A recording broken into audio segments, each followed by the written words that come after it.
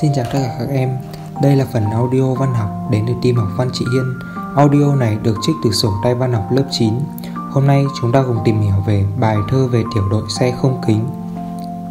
Tác giả Phạm Tiến Duật sinh năm 1941, mất năm 2007, quê ở huyện Thanh Ba, tỉnh Phú Thọ, là một trong những gương mặt tiêu biểu của thế hệ các nhà thơ trẻ thời chống Mỹ cứu nước. Thơ ông có giọng điệu sôi nổi, trẻ trung, hồn nhiên, pha chút ngang tàn, tinh nghịch mà sâu sắc. Ông được ca tụng là con chim lửa của Trường Sơn huyền thoại, cây xăng lẻ của rừng già, nhà thơ lớn nhất thời chống Mỹ và ngọn lửa đèn của một thế hệ nhà thơ trưởng thành trong kháng chiến chống Mỹ. Thơ ông thời chống Mỹ từng được đánh giá là có sức mạnh của cả một sư đoàn. Ông được nhà nước trao tặng giải thưởng về văn học nghệ thuật năm 2001, huân chương lao động hạng nhì năm 2007 và được truy tặng giải thưởng Hồ Chí Minh về văn học nghệ thuật năm 2012. Bài thơ về tiểu đội xe không kính được viết trong thời kỳ cuộc kháng chiến chống Mỹ đang diễn ra ác liệt. Nằm trong chùm thơ Phạm Tiến Duật được tặng giải nhất cuộc thi thơ của báo Văn nghệ năm 1969, được đưa vào tập Vầng trăng cuồng lửa của tác giả. Nhan đề bài thơ về tiểu đội xe không kính rất dài, tưởng chừng như có chỗ thừa nhưng lại thu hút người đọc ở cái vẻ lạ và độc đáo ấy. Ý nghĩa nhan đề bài thơ đã làm nổi bật hình ảnh của toàn bài. Những chiếc xe không kính, đây là một phát hiện thú vị của nhà thơ, cho thấy sự gắn bó và am hiểu hiện thực đời sống chiến tranh trên tuyến đường Trường Sơn.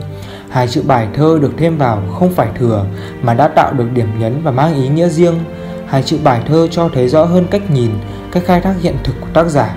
Không chỉ viết về những chiếc xe không kính hay hiện thực khốc liệt của chiến tranh mà tác giả còn muốn thể hiện chất thơ của hiện thực ấy, chất thơ của tuổi trẻ hiên ngang, dũng cảm, trẻ trung, một thế hệ trẻ Việt Nam anh hùng phân tích nội dung của tác phẩm. Hôm nay chúng ta sẽ phân tích hình ảnh những chiếc xe không kính và hình ảnh người lính lái xe Trường Sơn. Không có kính không phải vì xe không có kính, bom giật bom rung, kính vỡ đi rồi. Xe không có kính, hình ảnh hiện thực được đưa vào trang thơ là một phát hiện thú vị, táo bạo của tác giả. Bom giật, bom rung, kính vỡ đi rồi. Giọng điệu thản nhiên khi giải thích nguyên nhân những chiếc xe không có kính. Tác giả sử dụng động từ mạnh, giật, rung để tô đậm mức độ ác liệt, tàn khốc của chiến tranh. Cấu trúc câu thơ giống như hình thức hỏi đáp, đậm chất văn xuôi nhưng đọc lên vẫn nghe thú vị bởi chất lính phóng túng, hồn nhiên, vô tư. Không có kính rồi xe không có đèn, không có mui, thùng xe có xước. Nhịp thơ ngắn, mạnh, giúp người đọc hình dung được đoàn xe đang lăn bánh trên đoạn đường chắc trở. Cơ sở vật chất trên xe dường như không có gì, liên tiếp là những thứ không có, từ kính cho đến đèn, đến mũi xe, thùng xe cũng bị tổn hại. Điệp ngữ không có liên tiếp xuất hiện càng làm nhân thêm sự ác liệt khó khăn nơi chiến trường.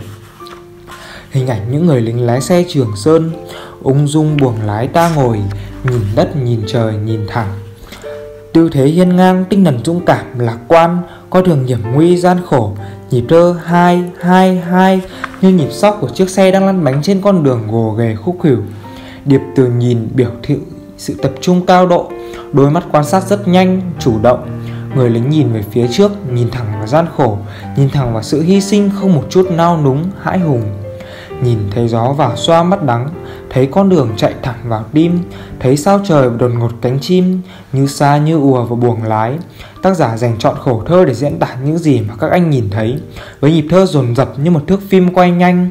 Người lính ngồi trong buồng lái trần trụi đối mặt với tất cả, nào là gió thổi, là cánh chim chiều, là ánh sao đêm đều rất đột ngột, bất ngờ, như xa như ùa vào buồng lái, như hình ảnh gió, con đường, sao trời, cánh chim vừa là hiện thực vừa thấm đượm chất thơ. Gió vào xoa mắt đắng, biện pháp nhân hóa hình tượng gió vẫn dụ chuyển đổi cảm giác trong từ đắng đã cho thấy sự gian lao nơi chiến trường. Người lính lái xe đêm ngày khó, có lúc nào nghỉ ngơi.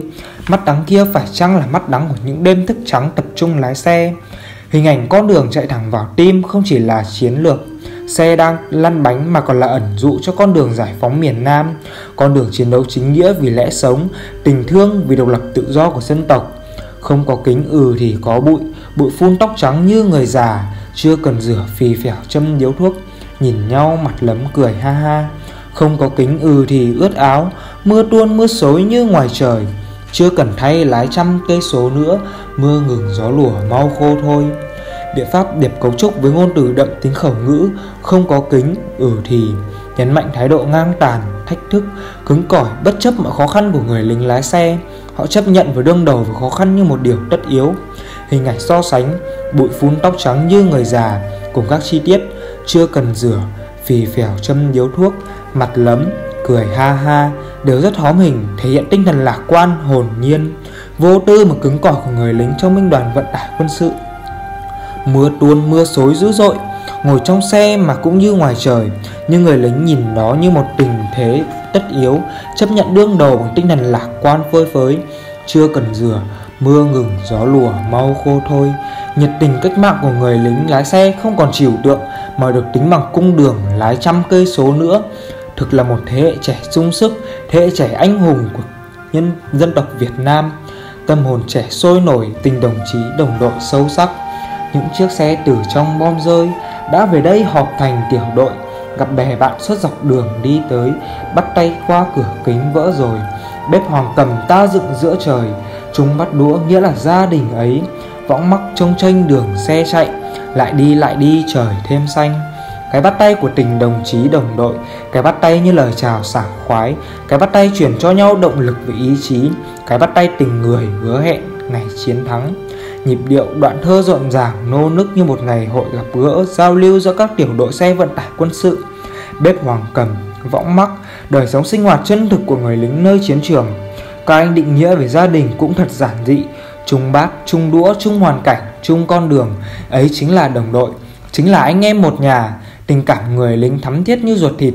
Câu thơ đậm chất tự sự như lời định nghĩa hào phóng Giản đơn nhưng thắm tình đồng đội của người lính lái xe về hai chữ gia đình Giữa chiến trường bom đạn ác liệt Võng mắc là nhẹ nhõm, thoải mái Nhưng không khi nào ở chữ trong tư thế trông tranh Từ lái trông tranh không chỉ là tư thế võng mắc Mà còn là hơi thở của hiện thực chiến trường của gian khó, hiểm nguy. Điệp từ lại đi, khẳng định đoàn xe sẽ không ngừng đi tới. Hình ảnh trời xanh thêm là một ẩn dụ cho tâm hồn chan chứa lạc quan và hy vọng, yêu đời của người lính, hy vọng một bầu trời hòa bình, thống nhất non sông. Ý chí chiến đấu giải phóng miền Nam thống nhất đất nước của các anh Không có kính rồi xe không có đèn Không có mui thùng xe có xước Xe vẫn chạy về miền Nam phía trước Chỉ cần trong xe có một trái tim Khổ thơ được kết cấu bởi sự đối lập bất ngờ sâu sắc giữa xương phương diện vật chất và tinh thần, giữa cái không và cái có. Biện pháp liệt kê cùng điệp tử không có, điệp đến 3 lần đã nhấn mạnh sự thiếu thốn đến trần trụi của những chiếc xe, phương tiện vận chuyển và chiến đấu quan trọng nhất của đoàn vận tải. Mọi thứ của xe có thể không còn nguyên vẹn, nhưng chỉ cần vẹn nguyên nơi ấy một trái tim. Hình ảnh trái tim đặt để ở cuối bài thơ, sau tất cả mọi thiếu thốn, gian lao đã như có sức mạnh thay thế và khỏa lấp cho tất cả những gì không lành lặn ấy. Trái tim là một hình ảnh hoán dụ cho người lính lái xe can trường, dũng cảm. Xong, trái tim ấy cũng mang ý nghĩa ẩn dụ, hội tụ vẻ đẹp tâm hồn, phẩm chất của người chiến sĩ. Trái tim người lính nồng cháy một lẽ sống cao đẹp, tình yêu nước thiết tha, trái tim chứa đựng bản lĩnh kiên cường, hiên ngang, bất khuất. Trái tim mang một tinh thần lạc quan, niềm tin mãnh liệt vào ngày mai tất thắng và trái tim ấy cũng là nhãn tự của bài thơ.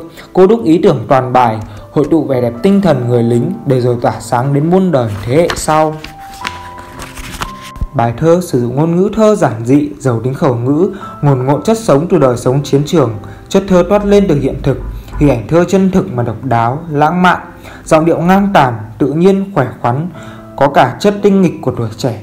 Thể thơ tự do kết hợp linh hoạt giữa câu thơ 7 chữ và câu thơ 8 chữ, có câu 6 hay 10 chữ tạo nên âm điệu tự nhiên, giàu tính tự sự, một giọng điệu mới mẻ của nhà thơ thời kỳ kháng chiến.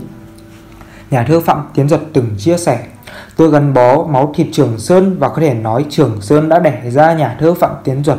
Trước đây, bây giờ và sau này, nếu tôi viết được chút gì neo lại trong lòng bạn đọc chính là nhờ những năm tháng Trường Sơn hay nhà thơ Nguyễn Văn Thọ từng nhận xét Thơ Phạm Tiến Duật mang hơi thở của cả một thời đại nhưng bằng một khí phách ngang tàn, chất bụi bặm và kiêu bạc của người lính thời chống Mỹ. Thơ ông có sức mạnh của cả một binh đoàn trùng trùng ra trận. Cảm ơn các em đã lắng nghe phần audio này. Hẹn các em ở trong những phần audio tiếp theo cùng học văn chị Hiên các em nhé.